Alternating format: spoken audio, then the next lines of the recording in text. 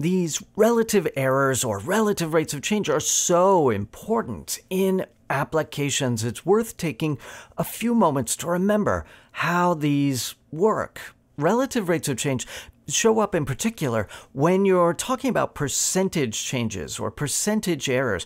Oh, I only know these inputs with 1% accuracy. With what percentage accuracy do I know the output?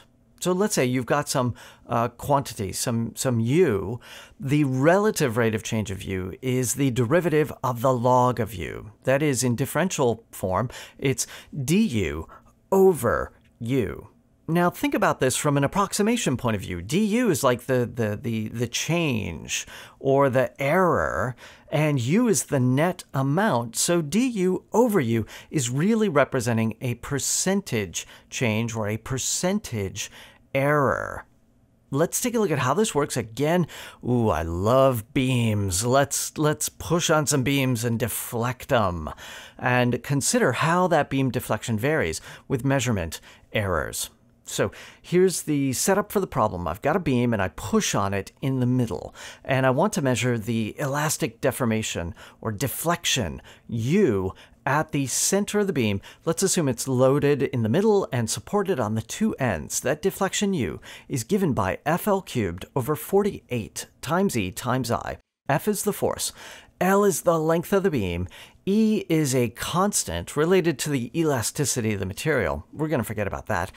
And that last term, I, is a cross-sectional moment of inertia.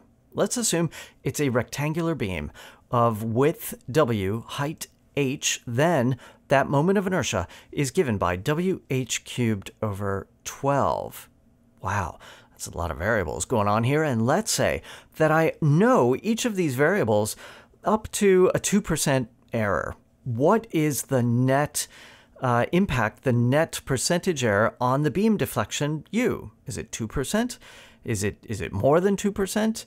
Um, how much more? How do we figure that out? We were fiddling around with this in a previous example. Now we're going to do it for real using relative rates of change. So let's take that formula for U and substitute in what we have for i, and now we get a function u equals fl cubed over 4 times e times wh cubed. We're going to consider e a constant, everything else a variable.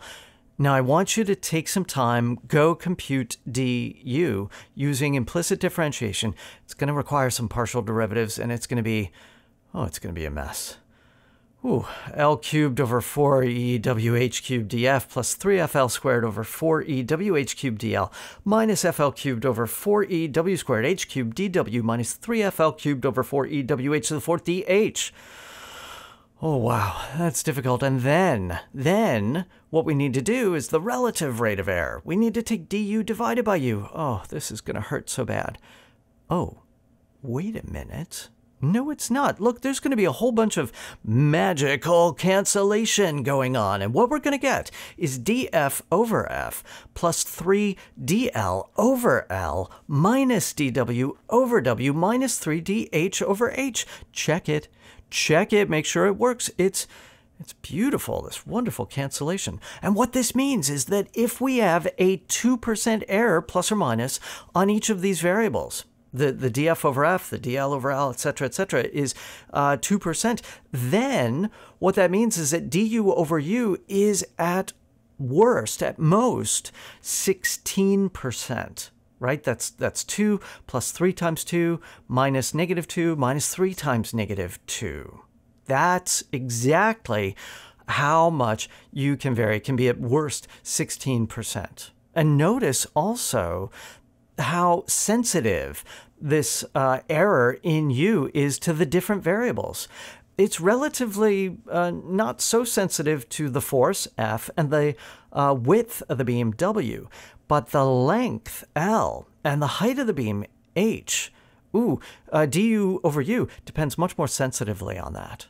And if you look at what we have in this magical cancellation, you can you can sort of start seeing a pattern here, especially if you do some more problems this way, that the output relative rate of change is a linear combination of the relative rates of change of the inputs.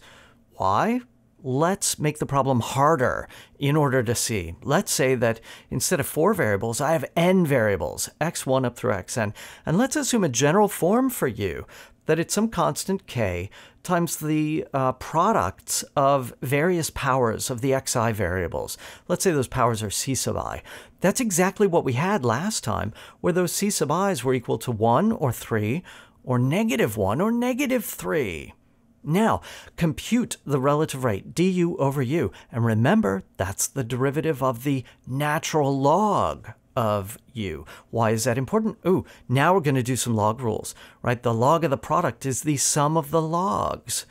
And now I differentiate that using the fact that the derivative is linear. What's the derivative of log of a constant? It's zero, so forget about that k what's the derivative of the sum of the logs of xi's to various powers? I pull the powers c sub i out in front, and now I have uh, the sum of c sub i's times the derivatives of the logs of the xi's. Oh, but those are the relative rates of change by definition. I get the sum, i goes from 1 to n, of ci times dxi over xi. That's it. That means that the relative rate of change of u is a linear combination of the relative rates of change of the input variables, where the coefficients out in front are the powers. That is so powerful, that is so satisfying and so useful in applications.